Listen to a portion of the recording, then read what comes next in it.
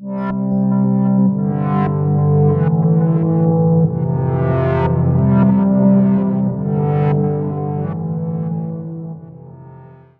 hello, I'm Bretton, one of our MCAT tutors here at Inspira Advantage, where we help students get into med school and other professional programs. Today, we're going to talk about one of the most important organs on the MCAT, the kidney. First, we want to understand the physiology of the nephron. The point of it is to make sure we keep important things like water and some salts while getting rid of toxic or excess substances. So, where does the nephron get all this fluid and solute to begin with? The blood, of course, specifically the afferent arteriole.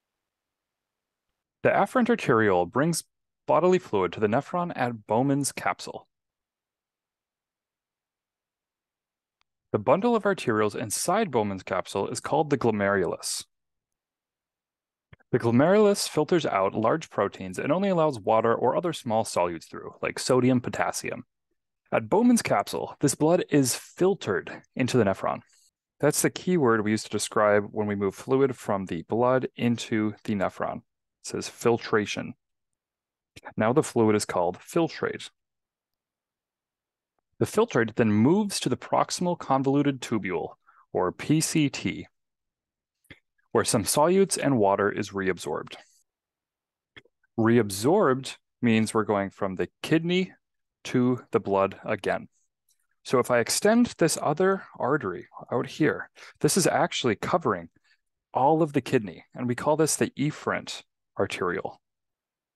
This covers the whole kidney, and these water salts are all directly going into this efferent arteriole through a process called reabsorption called reabsorption because the first absorption happened when you ingested a substance and it went from the digestive system into the bloodstream. So now it's being reabsorbed into the bloodstream. The filtrate will then move from the PCT to the next part of the kidneys, the loops of Henle. So we need to draw these in. The filtrate will start moving down the descending loop of Henle. At the descending loop of Henle, this is where water is reabsorbed into the surrounding tissues. So how does this water move out here? Well, I'll give you a hint. It doesn't take any ATP. Since it takes no ATP, this means it must be going down its concentration gradient. So as we see, the deeper we get, we see a higher salt concentration.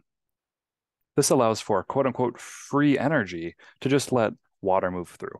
But as we'll see in a second, this isn't free at all. So let's continue following the path of our filtrate. So it's coming down. We just lost some water, so now the filtrate is saltier as it starts going up the ascending loop of Henle.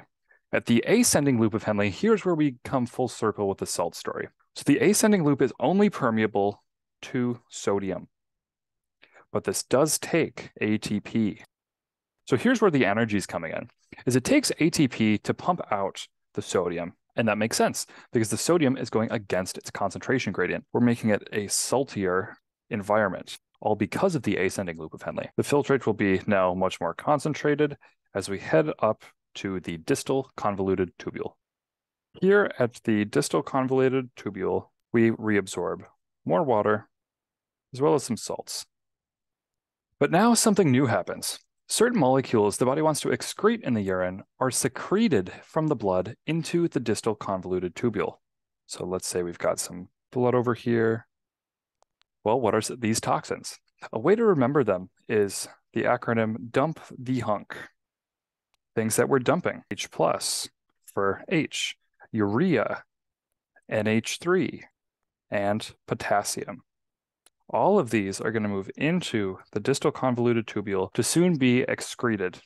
Finally, the filtrate with all of these toxins are going to move into the collecting duct where a little bit of water is still reabsorbed before finally the fluid is secreted into the bladder. Thank you so much for watching our video on kidney anatomy, and I will see you next time.